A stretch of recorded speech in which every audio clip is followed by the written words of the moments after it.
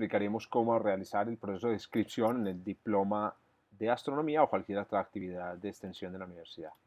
Lo primero que tenemos que hacer es eh, entrar al eh, link de servicios eh, UDA EduCO e ingresar aquí donde dice estudiar en la UDA.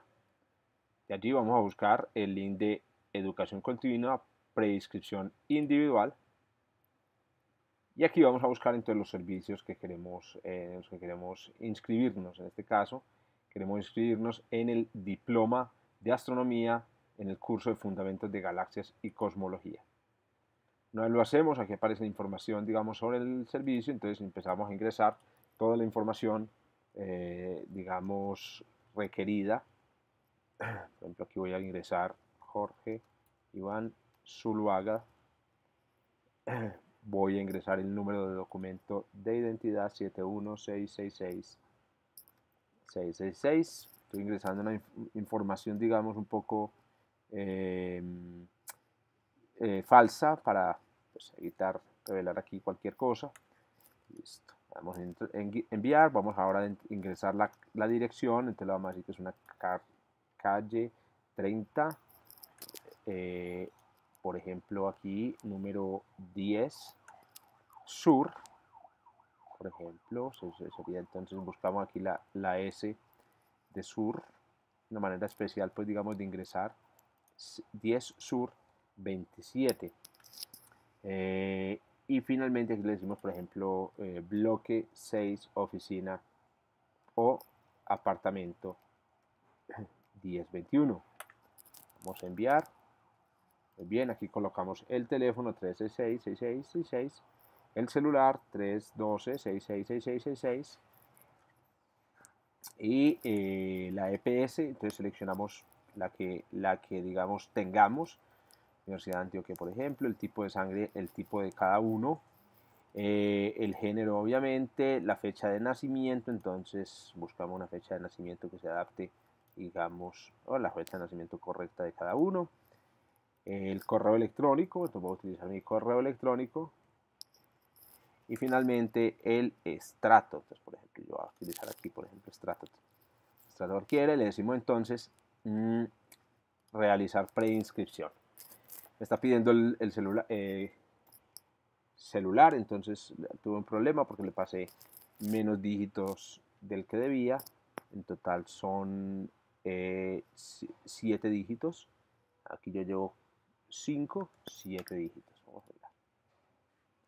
Eh, confirma que desea realizar la inscripción, le va a decir que sí. Entonces él me dice aquí que eh, está listo entonces para realizar el pago, pago del, eh, del, servicio, pero también me permite descargar la preinscripción. Te lo voy a decir que aquí que me permita que me descargue la preinscripción. La preinscripción es importante porque nos va a permitir, por ejemplo, llegar el día del, curso y demostrar que estamos inscritos, nos va a permitir ingresar a la universidad en caso de que, de que lo pida. Para realizar el pago, entonces vamos a pagos en línea. Y aquí me da entonces la opción de realizar el pago. Entonces vamos a decir iniciar pago. Y eh, efectivamente, entonces aquí me da la opción de escoger un medio de pago eh, que puede ser incluyendo tarjetas de crédito o puedo hacerlo en efectivo desde el, un sistema PSL. Los sistemas de pago son muy buenos eh, y son completamente mm, seguros. No hay ningún, ninguna, ningún, en este caso, pues obviamente como estoy haciendo una simulación no voy a realizar el pago. Ahora bien, una vez, eh, una vez se realiza la, inscripción, volvamos otra vez entonces a servicios. una vez usted complete el proceso de inscripción, puede ir a estudiar en la UDA eh, y puede preguntarle, por ejemplo, cursos a los que se ha inscrito. Entonces aquí usted podría utilizar una cédula de alguien que ya se ha inscrito, por ejemplo aquí voy a utilizar esta cédula, entonces aquí me aparece que la inscripción ya ha sido pagada y podemos decirle entonces que me descargue el certificado de, pre, de inscripción, me descarga el certificado, entonces ya el certificado anterior, que era el certificado de preinscripción, que es este, donde me dice entonces que yo estoy preinscrito en el, en el en el curso, ahora cambió por el certificado de inscripción. Vamos a ver si no lo abre sin problemas, correcto. Viene este certificado, entonces ya aparece, eh, digamos, la confirmación de que se está inscrito correctamente en el curso.